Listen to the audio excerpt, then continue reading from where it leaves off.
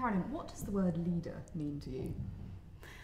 Well, I think the fact that in it's very simple, it just means songs, and that encompasses so much. Mm. And I think we can get very uh, sort of internal looking that we, we look inwards all the time and, and think of Schubert or a very small portion of song and actually there's such a, a wide range um, it can mean anything any songs and I think that's one of the special things about this whole art form and you spend so much of your life singing art song not just at Leeds for Leeds Lieder but all over the world what do you think makes it so special for you um, for me, it's it's uh, a chance to become somebody else every two or three minutes, and you know, I really like that. It's um, they're all like mini operas in some ways. You you take on a role.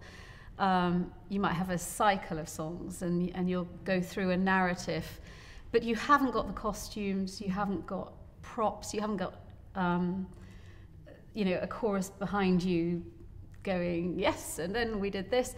It's, it's very intimate, it's very small, and I, I like that we get to um, put ourselves in other people's shoes and it forces you to empathize. And, and I think for the audience, if they'll come with you on that journey, that's a really special thing. But it must be quite exhausting as well to be changing these characters every three minutes. You almost get sort of emotional whiplash, I guess. Yeah. yes, and I think that's something that you think about a lot as well when you're programming a, a recital. Um, because you can choose, we can manipulate in a way people's emotions a little bit by choosing to take a group of songs that lead you quite smoothly through mm. a narrative but then you also have the option of doing a big clunk and a change, complete mm. change of character, which it's a bit like having an iPod on shuffle. It, it, you, hear it, you hear things differently, sometimes out of context. And you talk about sort of listening with an iPod, and I guess we're all living in this very busy world now where we think we're too busy to do anything. So why should people actually come to a concert instead of just listening on their iPod? Um, because it's a shared experience. Mm.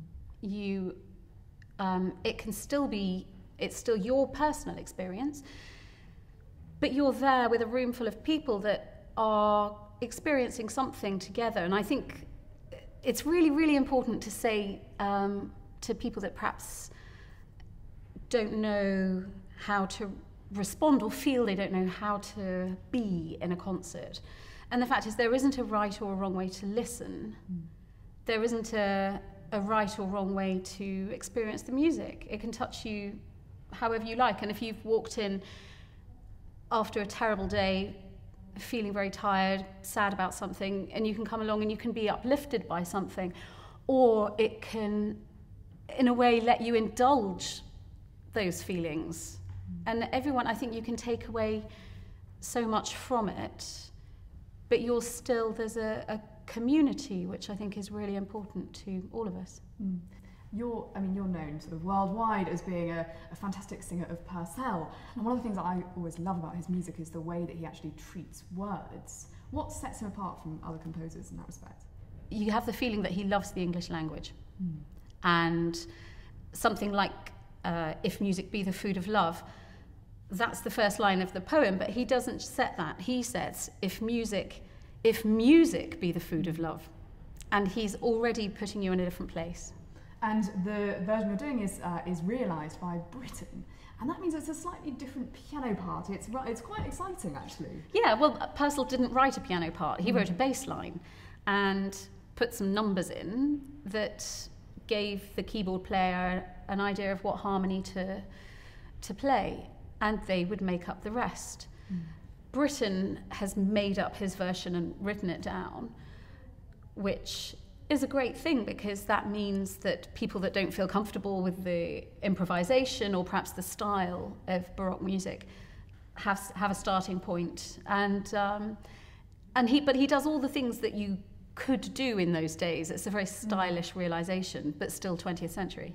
And what do you think drew Britten to Purcell in the first place?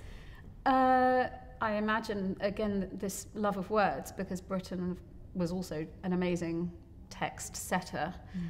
And Yeah, I think they're both very forward thinking composers, and I'm sure Britten recognised that in Purcell.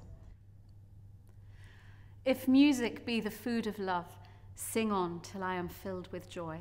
For then my listening soul you move to pleasures that can never cloy. Your eyes, your mien, your tongue declare that you are music everywhere. Pleasures invade both eye and ear, so fierce the transports are, they wound, and all my senses feasted are, though yet the feast is only sound. Sure, I must perish by your charms, unless you save me in your arms.